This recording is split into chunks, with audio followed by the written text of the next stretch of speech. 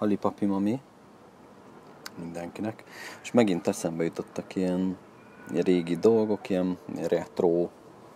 dolgok. Most már ezt mondhatni, hogy ezek ilyen retro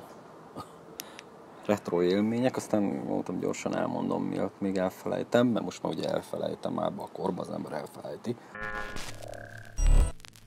És ez a tévével kapcsolatos dolog volt, így eszembe jutott, hogy néztem a tévét, és akkor eszembe jutott, hogy, hogy régen milyen volt a tévé, vagy akkor mondjuk ma is van még, aki nagyon ilyen tévéfüggő, vagy nagyon sokat néz tévét. Az emberek átlagosan, ha jól tudom, ilyen négy órát néznek a Magyarországon az átlag emberek tévét naponta. Azt szerintem nagyon-nagyon sok. Itt bement valami szösz, azt nem akarom, hogy oda belemenjem, vagy belelógjam. Szóval azt szerintem nagyon-nagyon sok. Én egyáltalán nem nézek tévét, mert ugye az interneten nézek meg nagyjából mindent. Hát régen ugye nem volt internet, a tévé az nagyon-nagyon nagy dolog volt, és hát nekünk is volt régen fekete-fehér tévénk, ugye nem voltak színes tévék.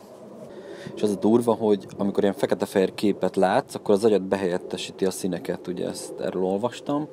illetve a fekete-fehér fotót is látsz, és hogyha sokat látsz egymástól, akkor eh, ugye tudod azonosítani a tárgyakat a különböző színekkel, tudod, hogy minek milyen színe van nagyjából. Fekete-fehér televíziónál is hasonló volt az érzésed a színekkel kapcsolatosan, és emlékszem, hogy, hogy eh, hazamentem, amikor pici voltam, és akkor eh,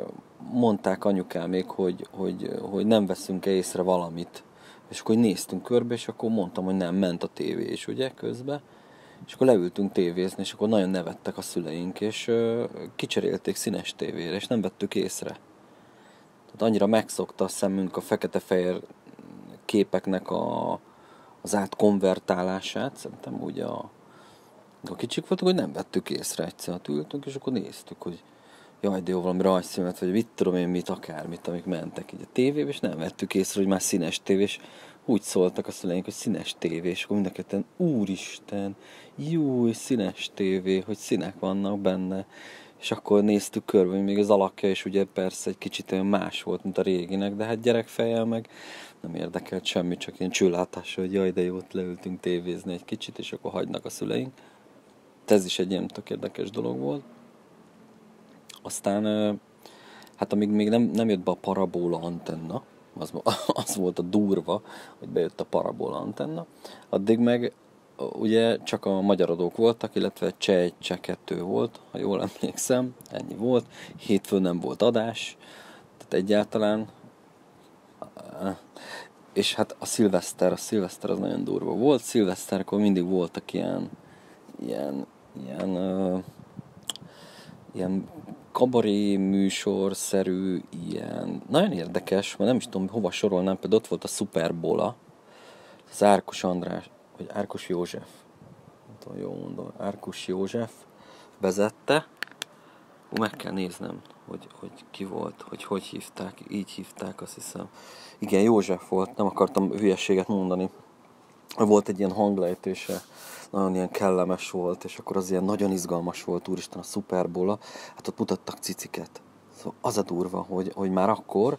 ott, ott mesztelen nőket mutogattak a szuperbólába, szóval szilveszterkor ugye elszabadult picit a pokol a tévé, nem volt ilyen, hogy, hogy valamelyik csatornát megbüntetik, hát nem is volt, másik csatorna, egyes, kettes volt, ha jól emlékszem, és Hát az valami őrület volt. Szóval amikor Superbola volt, akkor mindenki nézte az egész világot. Ott nagyon-nagyon-nagyon szilveszterkor baromi fontos volt a tévéműsor. Ott, ott tényleg elszabadult a pokol, ott nagyon durva dolgokat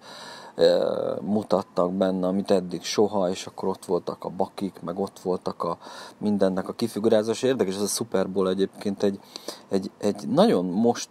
mostani trendekhez hasonló dolog volt, mert ott beszélt a, a műsorvezető, és akkor bevágtak ilyen parlamenti dolgokat, mintha ők válaszolnának, akkor ilyen mémeket, amit most ilyen mémeknek hívnak, hogy, hogy nem tudom, ott rikácsol egy majom, vagy akár, szóval azért nagyon ilyen hasonló stílusú volt egyébként, bele lehet nézni, hát most már iszonyatosan röhelyes,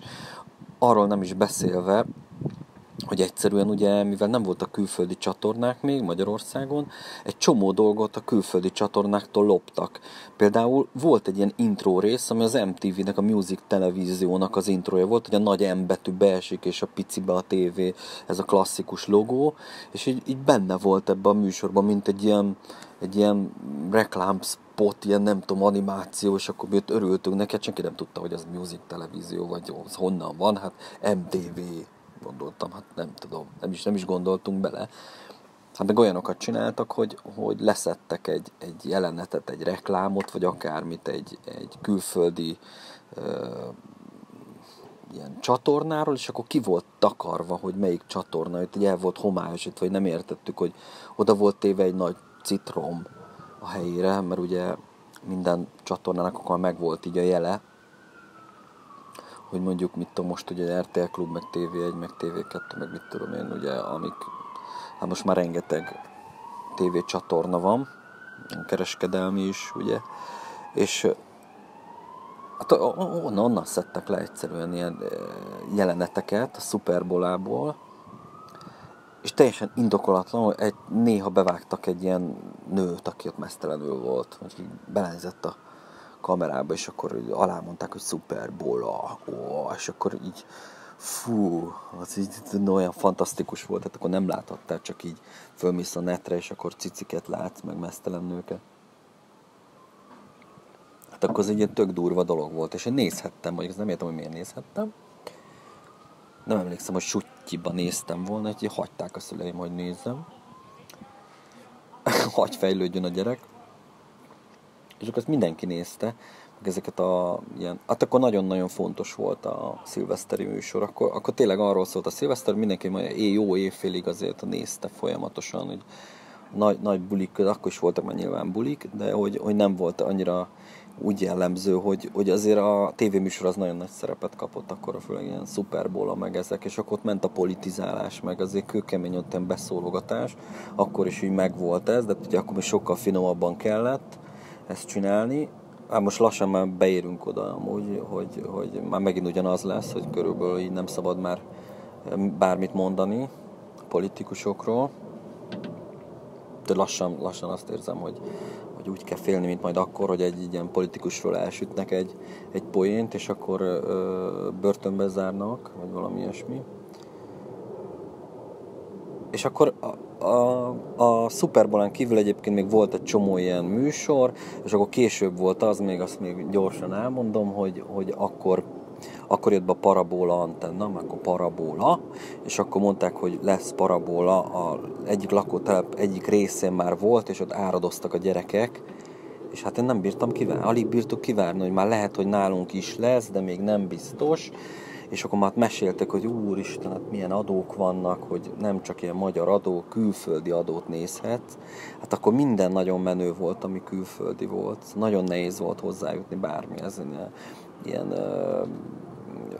Bravo újság, meg Popcorn, meg ezek, a, ezek ilyen popmagazinok voltak, és hát voltak benne így a külföldi énekesekről poszterek, meg ilyenek, hát amikor egy ilyenhez hozzájutottál, és ilyen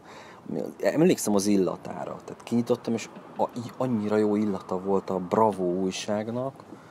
hogy ez valami elképesztően nívója volt így gyerekként ennek, hogy egy ilyen, ilyen újságot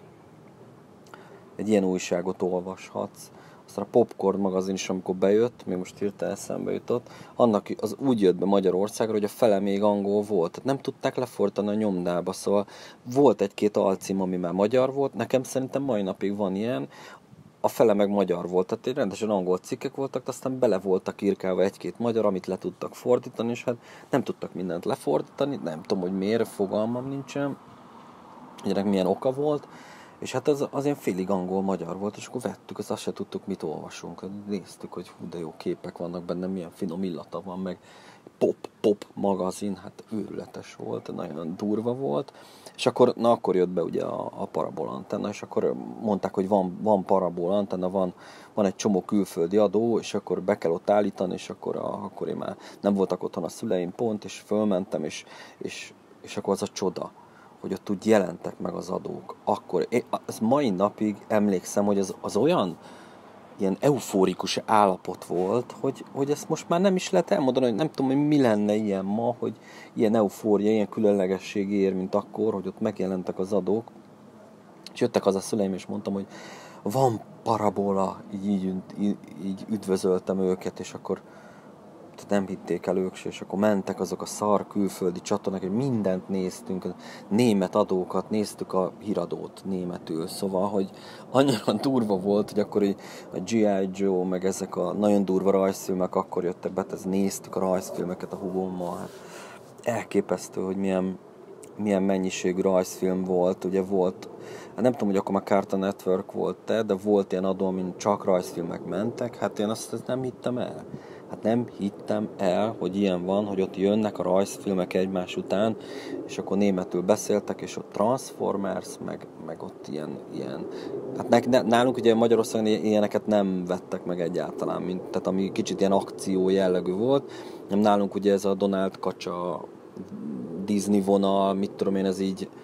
így ez volt a, a csúcspont, és akkor semmi mást nem vásároltak meg már így a, a magyarok